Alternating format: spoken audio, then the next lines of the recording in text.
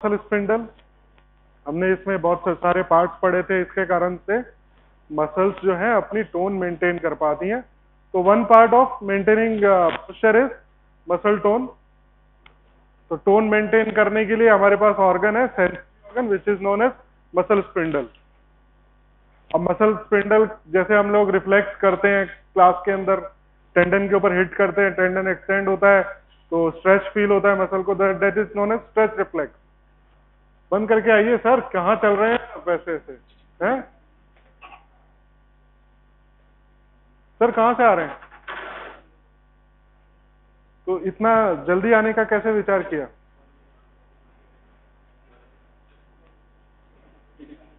और नया कुछ आपके पास कॉपी, पेंसिल, कुछ नहीं? अटेंडेंस के लिए आए हो? नहीं नहीं, क्यों, क्या ज़रूरत है? कुछ ज़रूरत नहीं है, बंद, रहने दो उसको। क्यों पेपर बर्बाद करो। लाओ, मुझे दे दो अटेंडेंस के लिए काम आएगा। दे दीजिए बेटा। तुमने पहले अटेंड किया खड़े हो जाओ तो अटेंड किया पहले क्लास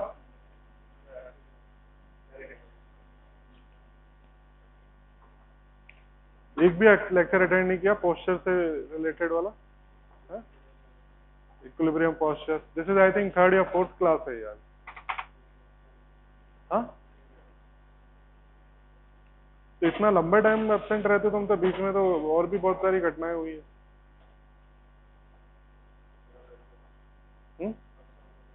अब से अच्छा। Thank you please set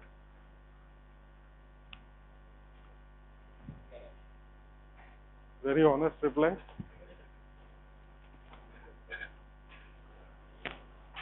तो this is intrafusal fibre extrafusal आपको अगर थोड़ा बहुत जिन्होंने अटेंड किया, मैं पूरा तो नहीं पढ़ा सकता वापस। But these are the muscle spindles which sense the stretch in the muscle and in turn they will contract and maintain the muscle tone this is the one of the mechanism another mechanism is reflexes तो reflexes में फिर हम लोग आगे बढ़ते, काफ़ी सारी चीज़ें आती हैं रिफ्लेक्सेस में। पोस्चुरल रिफ्लेक्सेस आते हैं, जो कि एक्चुअली स्पाइनल लेवल पे कंट्रोल होते हैं, और वहाँ पे जो मोटर न्यूरॉन होता है that is known as alpha motor neuron उसके ऊपर कई सारी इन्फ्लुएंसेस होती है from the upper higher centre जो सेंटर्स हैं एंड अदर रिसेप्टर जो सेंसरी रिसेप्टर्स है, जैसे आई है ईयर है वेस्टिबुलर कैनाल्स हैं प्रोपियोसेप्टर्स हैं, इन सबसे उसको सिग्नल्स मिलते हैं and then accordingly it will maintain the posture तो हमारा जो रिफ्लेक्स पार्ट है that is divided into two part one is static another is statokinetic दो कैटेगरी के अंदर हमने रिफ्लेक्सेस को डिवाइड किया हुआ है। One is static another is statokinetic तो लास्ट टाइम हमने स्टैटिक वाला पार्ट जो है, वो पूरा कंप्लीट कर लिया था। एक छोटा सा पार्ट बाकी था दैट इज़ स्टेटोकाइनेटिक पार्ट तो स्टैटिक और स्टेटोकाइनेटिक में डिफरेंस क्या था? वर्ड के अंदर मीनिंग है इसका। खुद ही already it is explaining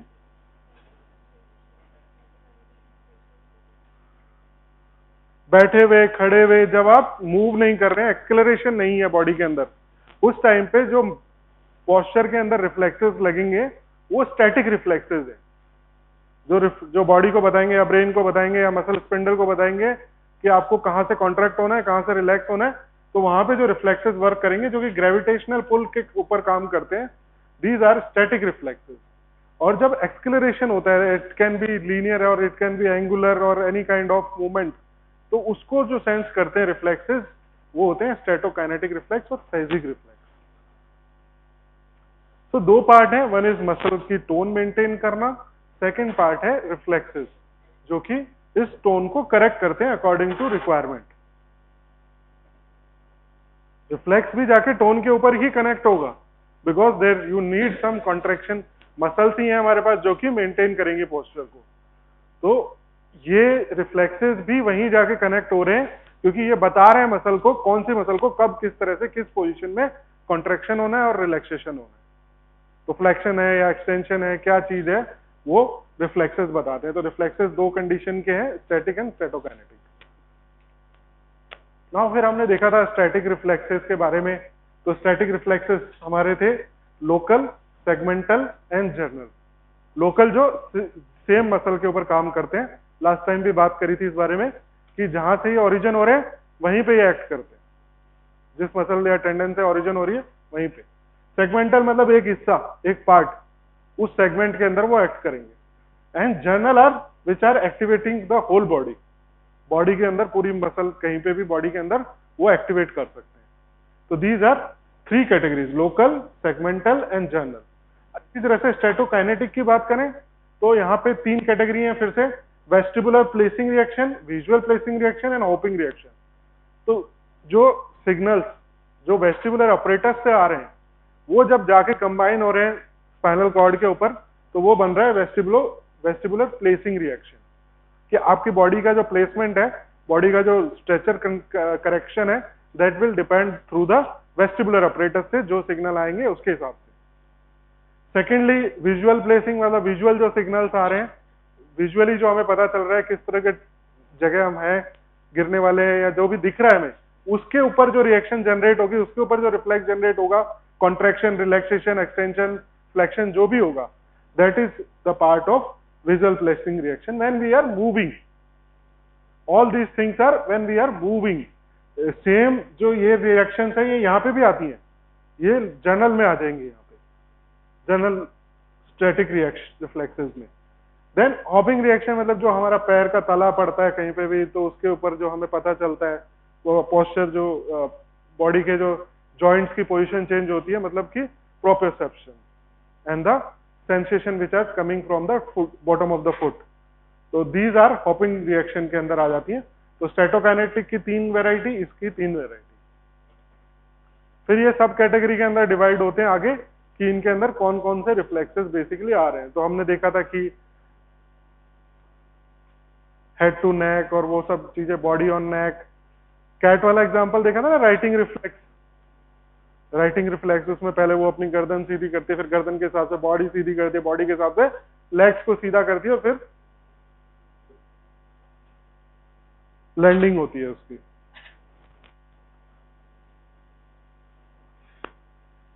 so so, जब हम लोकल की बात करते हैं तो reflex control anti gravity muscle tone वो इसमें आ जाएँगे positive supporting and negative supporting so reflex जो एंटी ग्रेविटी मसल्स को कर रहे हैं, उसको दो और रिफ्लेक्स फिर सपोर्ट हैं, either सपोर्ट पॉजिटिव सपोर्ट या negative support positive support will increase that tone and negative support will relax कि वो बताएगा कि हाँ अभी हो गया पोस्टर ठीक, इसको बंद करो अभी मैकेनिज्म को।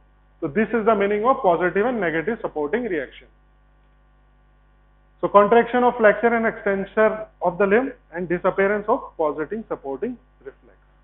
अगर ये नेगेटिव सपोर्टिंग रिफ्लेक्स एक्टिवेट हो रहा है तो it is blocking the positive supporting reflex जो कि बेसिकली बॉडी के करेक्शन को कर रहा है। Positive supporting contact of skin of foot in the ground touch pressure receptor spinal cord के अंदर होगा assemble and contraction of flexion and extension segmental जो हमने क्रॉस्ड देखा है। क्रॉस्ड वाला एक बहुत बढ़िया एग्जांपल पेन के अंदर मिलता है हमें। जब कोई गर्म चीज़ को आप टच करोगे या फिर आप कहीं पे डिसबैलेंस हो रहे हो तो आपका जिस साइड में आपका बॉडी है, उस साइड में आपका फ्लेक्शन होता है और दूसरी साइड में एक्सटेंशन होता है। तो बॉडी बैलेंस बनाने के लिए दूसरी साइड एक्सटेंशन कराती है और इसको दूर लेके आने के लिए फ्लेक्शन कराती है। गर्म चीज़ पे ऐसे हाथ लगाया या कोई ऐसी चीज़ है, जिससे आपको दूर होना है तो उस टाइम में क्रॉस एक्सटेंशन रिस्पॉन्स तो contraction of flexors of ipsilateral limb and contraction of extensor of contralateral limb. This is segmental reflex. This is pathway for the segmental reflex. Now general static reflex जिसमें पूरी body involve होती है पूरी body की muscles involve होती हैं तो this is known as attitudinal reflex long loop reflex and righting reflex so writing reflex is one thing you will judge and then you will correct the other thing according to that position अगर आपको नेक की position है तो आप नेक के हिसाब से पूरी बॉडी की पोजीशन को चेक कर रहे हो, उसको सही कर रहे हो राइटिंग रिफ्लेक्स उसको सही पोजीशन में ला रहे हो। इसी तरह से अगर आपका दूसरा रिफ्लेक्स है long loop stretch reflex long loop में क्या है? What is long loop stretch reflex anybody remember जो इसका नाम है, वही सजेस्ट कर रहा है what is the what is long loop reflex पिछली बार भी इस बारे में बात हुई थी।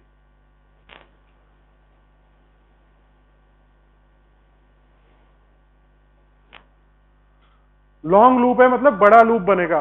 एक है आपका पॉइंट जहाँ पे असेंबली हो रही है दैट इज़ स्पाइनल कॉर्ड और सिग्नल कहीं से आना चाहिए जो कि बहुत दूर हो उससे। उस एरिया से दूर हो, वहाँ से आपके सेंसरी सिग्नल आने चाहिए। विजुअल रिसेप्टर्स तो विजुअल जो हमें सिग्नल्स आ रहे हैं, वो लॉन्ग लूप रिफ्लेक्स बनाते हैं।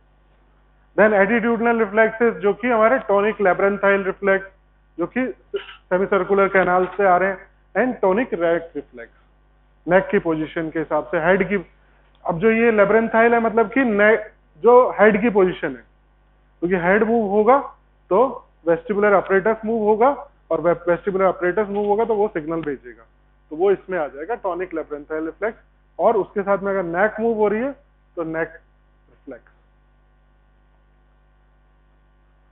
So these are the three more categories of static reflexes.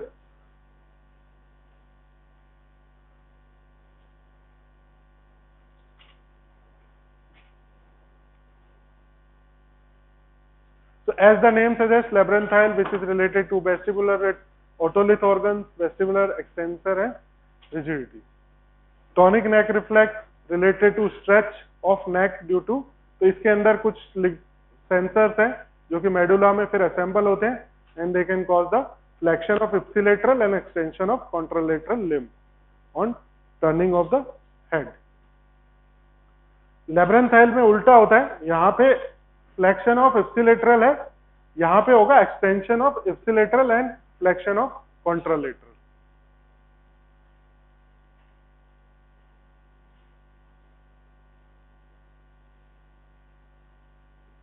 फिर ये डायग्राम देखा था पिछली बार भी हमने, जिस साइड हेड मूव हो रहा है तो अगर हेड वाला रिफ्लेक्स है तो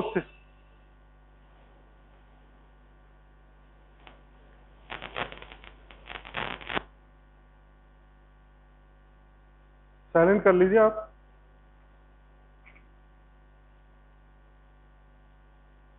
और पीछे आके बैठ जाओ। जाओ। जहाँ कोई नहीं बैठा, वहाँ बैठ जाओ आराम से। सरक जाओ तुम लोग।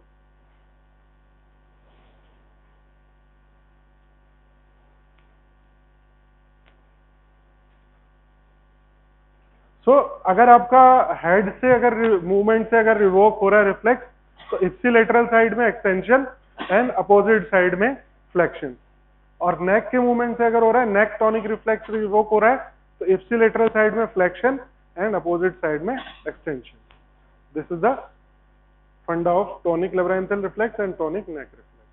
Which is the attitudinal reflex, part of attitudinal reflex.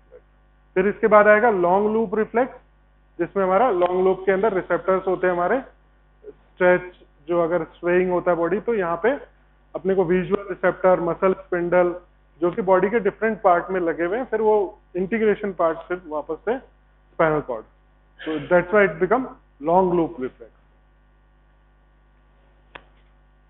फिर righting reflex according to the position the righting will be take place this was the example which we have seen here the starting यहाँ से आप cat को छोड़ेंगे. Cat will try to correct its head first Head पूरा घूम गया अभी head नीचे के side हो गया. Then body will move. Body will be corrected. Then limbs will be corrected and then landing will be there. So इसमें कई सारे reflexes देखे थे हमने head on body, body on head और इस तरह से फिर ये भी देखा था कि अगर हेड अगर आप एक जगह फिक्स कर दो तो वो बॉडी की पोजीशन समझ के बॉडी के बॉडी के अंदर प्रोप्रोसेप्टर है बॉडी जहाँ पे ग्राउंड के ऊपर टच होगी या हवा में कहीं पे भी किसी भी चीज़ से टच सेंसेशन मिलेगा बॉडी को तो उसको बॉडी की पोजीशन पता चलेगी प्रोप्रोसेप्टर से। तो उस हिसाब से वो करेक्ट करेगी अगर हेड की पोजीशन यहाँ तो क्या है टिपिकल देख रहे हैं हम, पहले हेड करेक्ट होगा, फिर बॉडी करेक्ट होगी, फिर लेग होगा। तो these are different this statokinetic reflexes static reflexes general static reflexes और राइटिंग रिफ्लेक्सेस एक ऑर्डर में वर्क कर रहे हैं। पर इस ऑर्डर को अगर आप डिस्टर्ब करोगे तो भी हो सकता है correction of posture is known as body on body reflex pressure on the side of the body extero receptor mid receptor इसमें आप इस तरह से it can be corrected then optical righting reflex limb righting reflex stretch of limbs appropriate posture of the limb can be achieved और ये वाले हैं जो लेब्रेंथन राइटिंग रिफ्लेक्स और हेड राइटिंग रिफ्लेक्स पहले head then body righting reflex और body on head righting reflex then you have neck on body. Writing reflex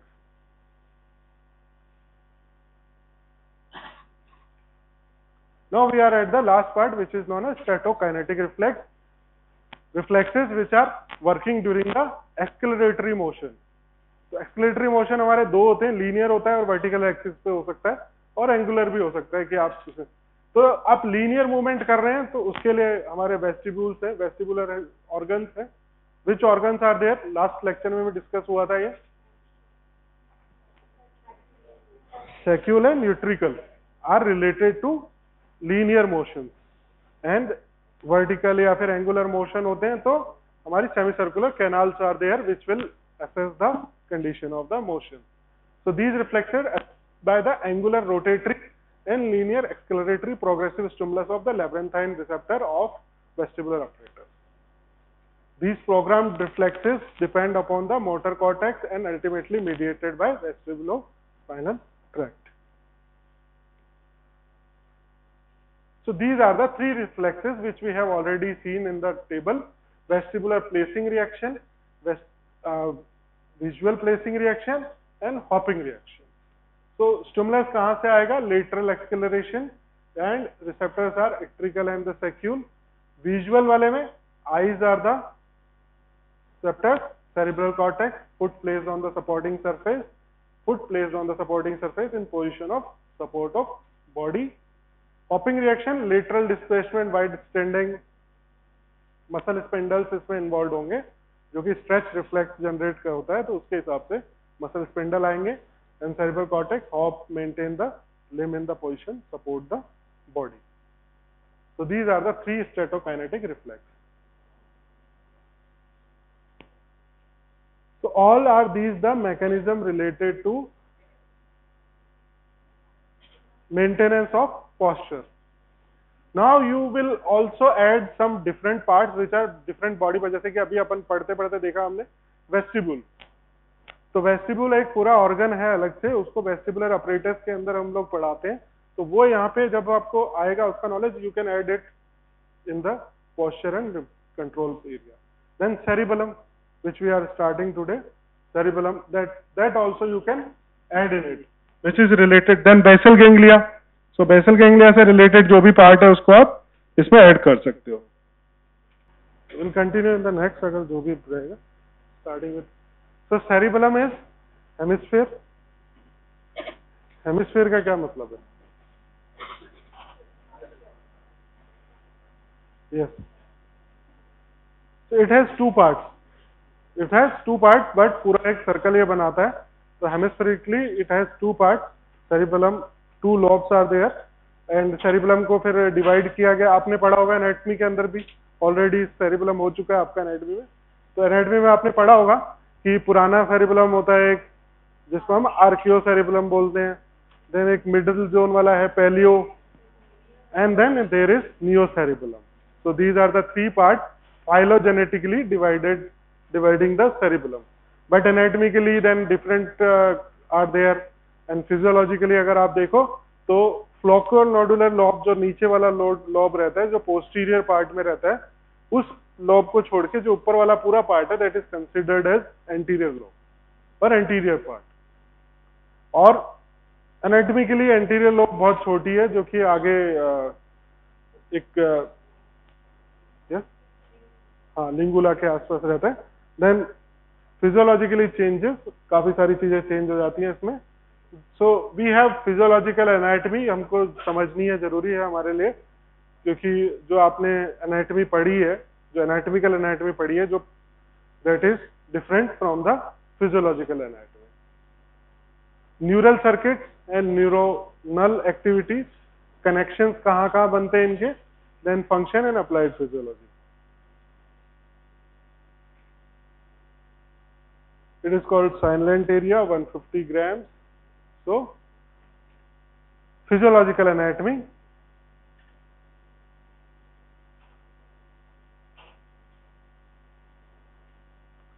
तो externally आप देख सकते हैं इसमें कई सारे ये सब आपका देखा मैंने चला रहा हूँ सो फाइलोजेनेटिकली जो हम लोग पहले बात कर रहे थे which is divided into three lobes. One is archaeocerebellum, which is consisting of flocculonodular lobe and linguala.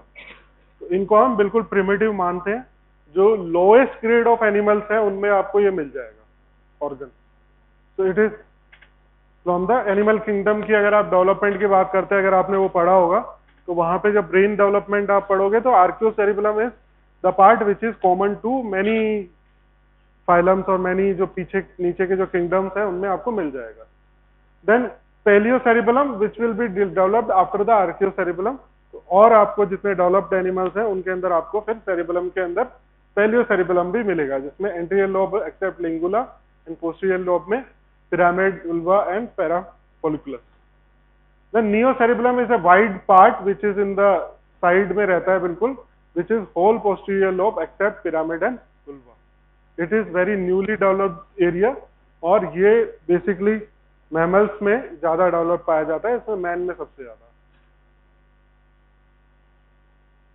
No functional division जो हमारे काम का है फिजियोलॉजिकल डिवीज़न या फिजियोलॉजिकल एनाटॉमी जो हमें ज़रूरत है, जिसके बारे में जानने की आज which is known as functional division इसमें हम तीन पार्ट में सेरिबलम को डिवाइड करते हैं। वन इज़ वेस्टिबुलो सेरिबलम जिसमें हमारा फ्लोकोलोडुलर लोब आएगा which is receiving signals from the vestibular operators तो यहाँ पे सिग्नल्स कहाँ से आ रहे हैं? वेस्टिबुलर ऑपरेटर से।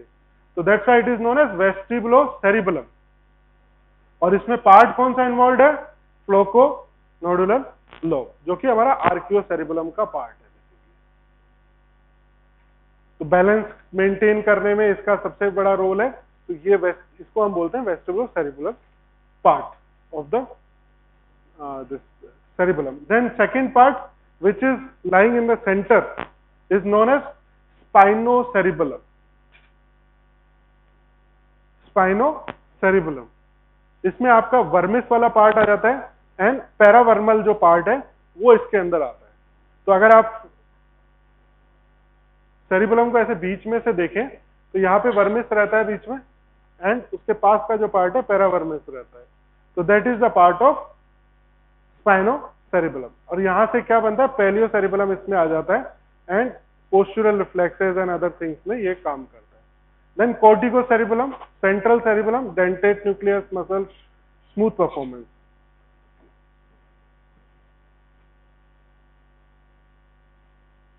okay sorry जो सेंटर पार्ट है कॉर्टिकल वाला, वो इसमें आएगा कॉर्टिको सेरिबुलम में। And this spino cerebellum consist of paleo cerebellum जो साइड का पार्ट होता है, जो मेन लोब वाला पार्ट है that is the spinocerebellum. You can see here vestibulocerebellum which is the lowest part जिसमें आपका flocculonodular lobe आएगा ठीक है then the central part which is consist of spinocerebellum जहाँ से आपके दो descending tracts जाते हैं one is medial descending tract and second is lateral descending tract. So medial descending tract and lateral descending tract दोनों का काम postural reflexes को maintain करना है साथ साथ में जो lateral lateral descending जो सिस्टम है या जो ट्रैक्ट है it is related to distal movements distal muscles जो होती हैं, उनके मूवमेंट्स के रिलेटेड काम करता है. एंड मीडियल जो डिसेंडिंग सिस्टम है it is related more to the central और द एक्सियल मसल कोऑर्डिनेशन तो स्पाइनो सेरिबलम में बेसिकली आपके दो तरह के डिसेंडिंग जो ट्रैक्स हैं डिसेंडिंग सिस्टम्स हैं, वो जा रहे हैं. एंड उनमें जो मीडियल वाला है it is related to central body part उनके अंदर टोन मेंटेन करना, उनका पोस्चुरल रिफ्लेक्स मेंटेन करना that is the function of medial descending system lateral descending system more related to distal muscles जो कि फाइनर मूवमेंट्स कराते हैं, जैसे कि हाथ की मसल है, इस तरह की मसल्स फिंगर राइटिंग के अंदर, इसके अंदर जो हेल्प करते हैं that is related to more lateral descending system paravermal जो एरिया है, उसके अंदर। तो this is known as vermal area this is known as paravermal area this is known as vestibular cerebellum और उसके अलावा जो पूरा पार्ट है to the motor and pre motor cortical जाता है दिस पार्ट और paleo cerebellum part is related to planning planning and execution of movement motor की प्लानिंग किस तरह से करनी है? That is related to this part तो फंक्शनल डिवीज़न अगर आप समझ रहे हो तो आगे फिर समझना बहुत ईजी हो जाता है चीज़ें को। इसके बाद में सिर्फ़ आपको लेयर्स याद रखनी है, बाकी सारी चीज़ें, यहाँ से आप फ़ंक्शन और बाकी सारी चीज़ें आप इजीली अंडरस्टैंड कर सकते हो आगे लेक्चर के अंदर। अरे यार, तुम फिर पीछे बैठ के बातें कर रहे हो।